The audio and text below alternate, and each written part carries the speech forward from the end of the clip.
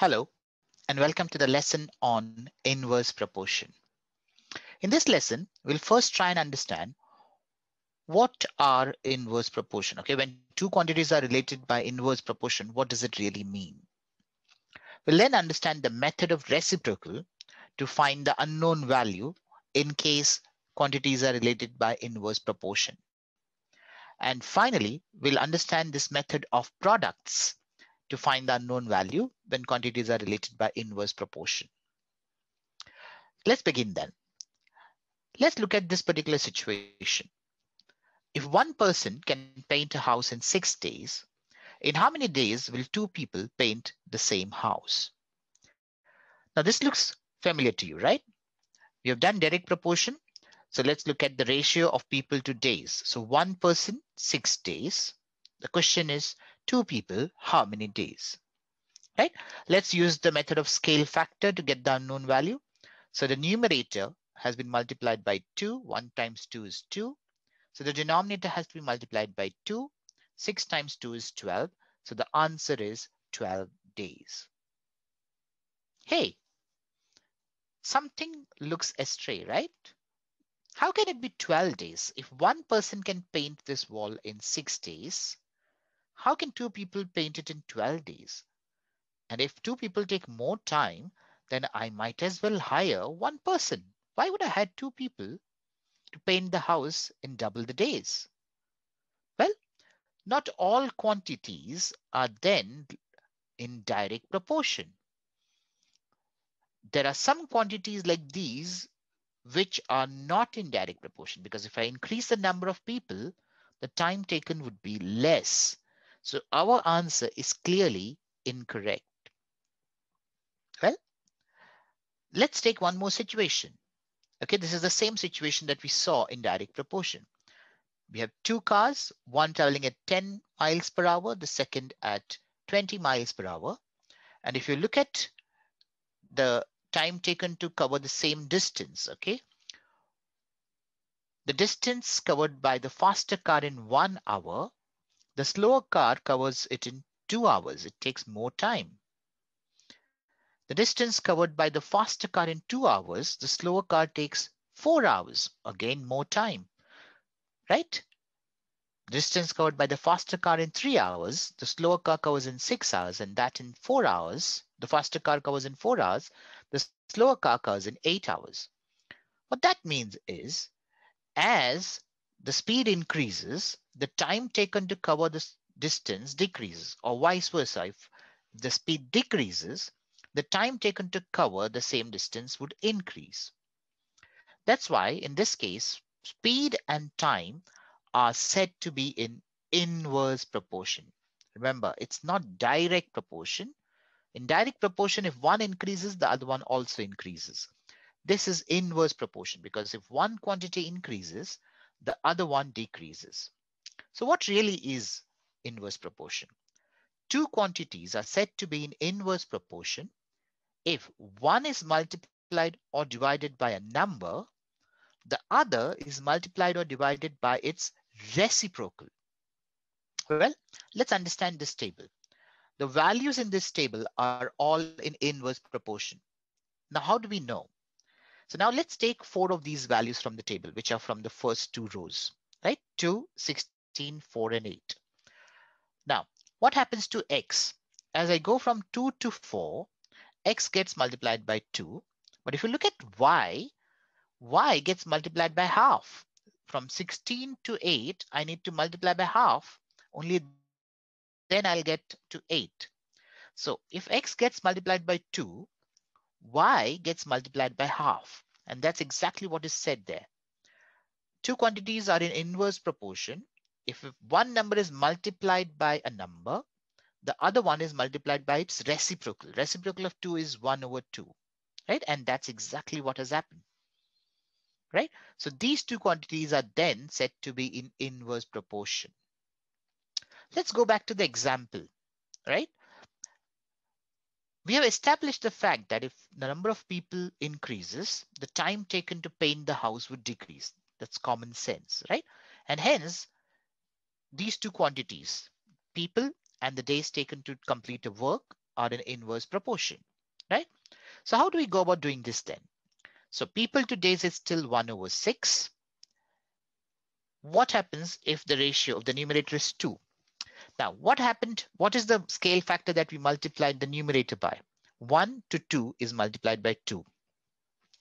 Because these two quantities are in inverse proportion, we'll multiply the days by the reciprocal of 2, which is half.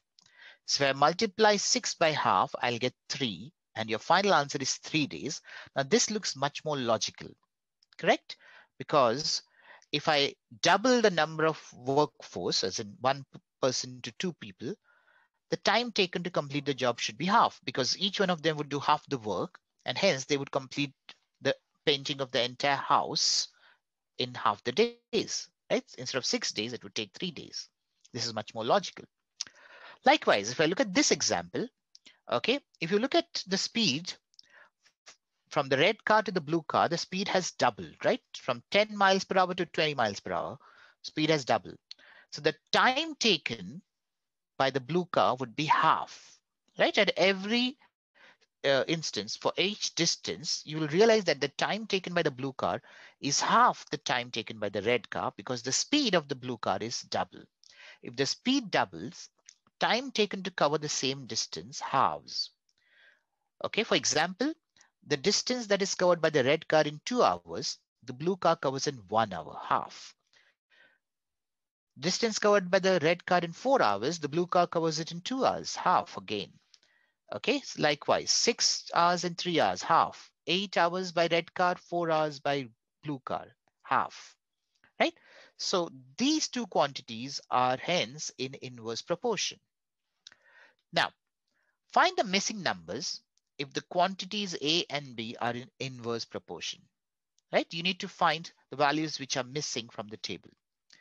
You may choose to pause the video at this moment and have a go at this. Remember, you use the principle of the same thing. If one quantity is multiplied by a number, the other has to be multiplied by its reciprocal. All the best. Well, I hope you managed to work out all the values. Let's see whether you worked it out correctly. So I will start with the second column. The reason being that's the only column where I know the values of both A and B. In no other column, I know values of A and B both. I either know A or B, correct? So from the second column, let me go to the first column. What happens to A? The value of A has become one fourth, right? Because from four to one, I have to multiply by one quarter, one fourth. So B, because it is an inverse proportion, will be multiplied by four, right? So 25 times four is 100. So we got the value of B for the first column. Okay, now from here, I can go to literally any other column, right? So let's compare the first and the third columns now. What has happened to the value of A? Value of A has become five times. From one, it has become five. So multiplied by five. Because these are in inverse proportion, B will be multiplied by one fifth. So 100 times one fifth is 20. Right, now let's compare the third and the fourth columns. What has happened to the value of B? From 20, it has become 10. So I multiplied B by half. So A will be multiplied by 2, reciprocal, remember? So 5 would become 10. 5 times 2 is 10. Okay, now let's compare the fourth and the fifth columns. Once again, value of B has become half. From 10 to 5 is half. So value of A will be double, multiplied by 2. And hence, the value of A in that column would be 20. 10 times 2 is 20. And finally, let us compare the fourth and the sixth column, the last column. If I look at the value of A, it has gone from 10 to 50. So it has been multiplied by 5. So B, because it's an inverse proportion, will be multiplied by 1 fifth. Correct? 10 times 1 fifth is 2. There you go. We got all the values. Hopefully you've got all of them correct. Now, there's an interesting relationship between A and B if they are in inverse proportion. Let's explore that. what is the product of A and B, as in A multiplied by B? If you look at each column carefully, A multiplied by B is 100 each time. For example, 1 times 100 is 100, 4 times 25 is 100, 5 times 20 is also 100, so is 10 times 10, 20 times 5, and 5 times 2, uh, 50 times 2. All of them are 100. Isn't that interesting? So if two quantities are in inverse proportion, their product, which is multiplication, will always be the same? We'll use this property in some examples that we solve uh, later on. Here's the first one. It takes one person one hour to put a certain number of letters into envelopes. How long will it take five people to complete the same task if they are all working with the same efficiency? Efficiency means at the same rate. Okay, so more people should take less time. That's common sense. Okay, so because one person, now there are five people. Earlier there were one person, now there are five people. So more people, it should be less time. That clearly means it's inverse proportion, right? Number of people and the time taken are in inverse proportion. So let's tabulate the data. People at time, one person it took one hour, which is 60 minutes. So now what happens if the number of people becomes five? So what has happened to number of people? It has been multiplied by five. One times five is five. Because we established that people and time are in inverse proportion, the time would be multiplied by one fifth or divided by five, whichever ways you look at it. So 60 divided by five is 12 minutes. And that's your answer. Five people would take 12 minutes to complete the same task. Let's do the next example. A woman working eight hours a day can complete a job in nine days. How many hours a day would she need to complete, uh, would she need to work to complete the job in six days? So if she works for eight hours a day, she completes it in nine days. How many days would she need to work, uh, how many hours per day in order to complete the job in nine days. Okay, in six days. So, so clearly, because she has to complete it faster, okay, from nine days to six days, she has to work for more hours per day, right? Because she has to do it in less number of days. She has to obviously put in more hours each day, right? So it is again inverse proportion because if the number of hours per day increases, the total time to complete the task would decrease, right? One quantity increases, the other decreases. That's inverse proportion. So let's tabulate again. Let's try and find out uh, the missing value. So hours per day and days. If she works for eight hours a day, it would take her nine days to complete the job. How many hours per day should she put in to complete the task in six days? Now, how do you go from nine to six? Now that's a little tricky, right? It's not easily found out. Okay, nine, what should I multiply or divide by to get six? Well, tricky. So what we'll do is, okay, we'll do something interesting. Instead of going from nine to six, we'll go from nine to three. Ah, you want to wonder, okay, why are we doing this? Because that's not the question. Well, wait, because it's easier to go from nine to three and then from three to six. That's why we just take an intermediate step. Okay, so nine to three, which means if she had to complete the task in three days instead of six days, three days, what would it take? Okay, how many hours per day would she need to work?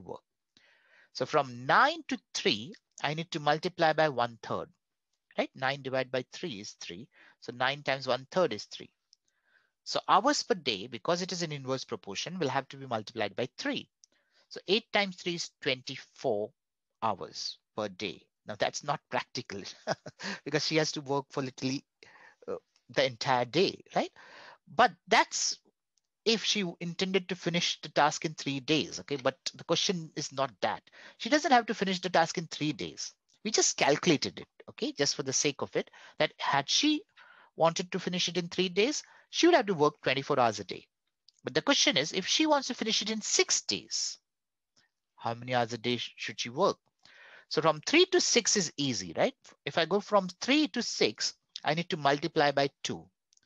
So the hours per day will have to be multiplied by half. Reciprocal of two is half, right? So 24 times half is 12 hours. And that's your final answer, 12 hours per day. She needs to work for 12 hours per day in order to complete the task in six days. Now, this looked a little complicated, right? To go from nine to three and then from three to six, okay? If you didn't want to do that, then let's use the simple thumb rule of the product, the product rule. Okay, what does the product rule say? That if two quantities are in inverse proportion, then their product, which is multiplication, should be the same, right? So we have established that these two quantities are in inverse proportion. What will be their product? So in the first row, 8 times 9 is 72, correct? Since the product has to be the same, even the product of the second row should be the same. So something times 6 is 72. So what do you need to multiply 6 by to arrive at 72? Well, 12 times 6 is 72. So it should be 12 hours, right? So she should work for 12 hours a day. Isn't that easy? This made the question on inverse proportions so very easy. Okay, all I needed to do was make sure that the product remains the same in each case, right? Let's do the next one.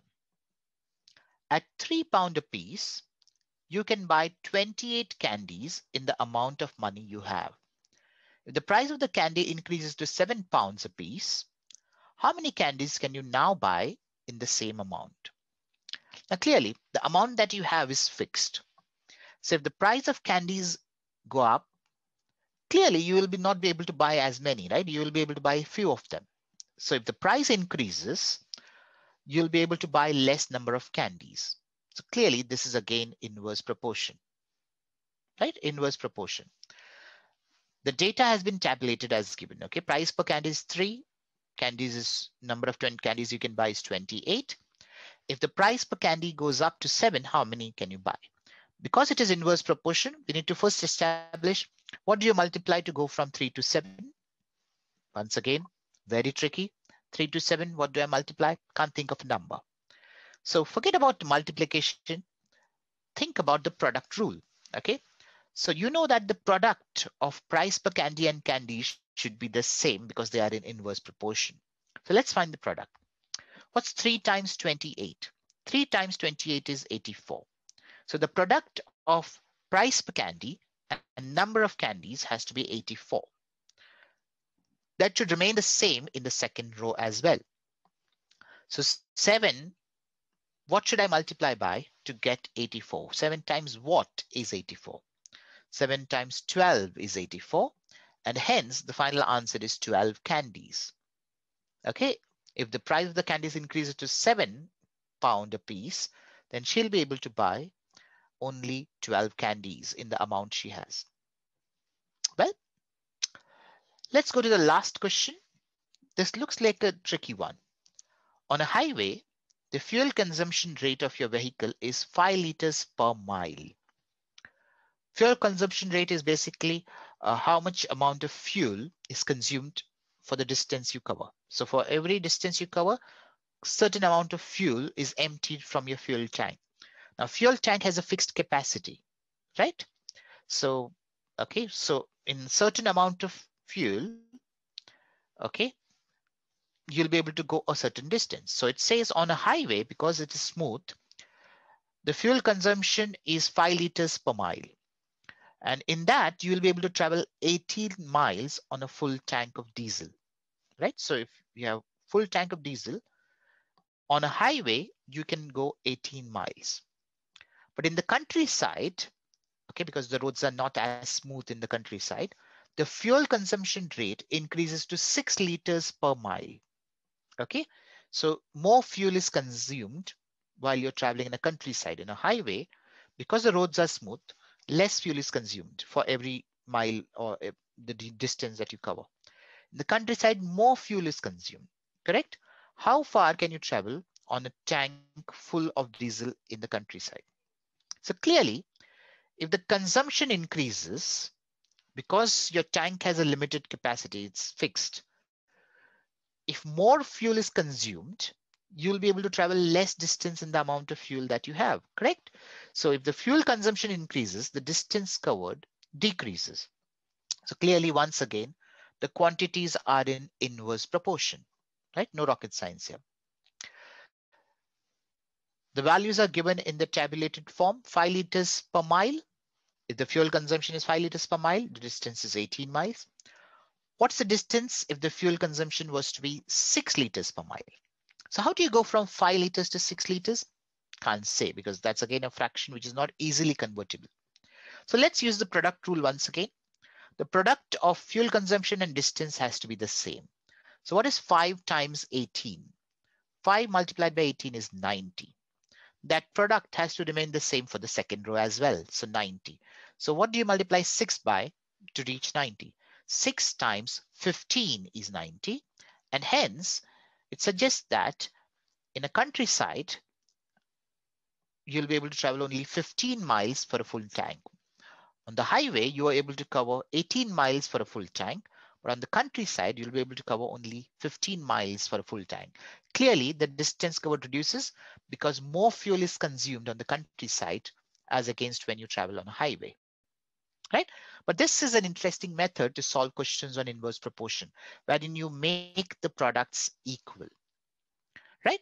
That's the end of the lesson on inverse proportion. I hope you understood the three things that we learned. We first learned, okay, what is inverse proportion? Okay, when the quantities are in inverse proportion, how are they related to each other? Then we understood the reciprocal method of finding the unknown quantity. Okay, so if one of the numbers is multiplied by something, the other one has to be multiplied by its reciprocal. So that's how we found the unknown quantity. Then where we were not able to find out the correct product, we found out that the multiplication property or the product property worked well when we said that if two quantities are in inverse proportion, then their product should always be the same or constant, right? I hope you enjoyed this lesson. Thank you.